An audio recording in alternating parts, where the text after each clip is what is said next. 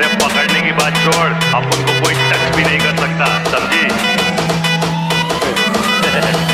ये देख रही ये देख, असली असली।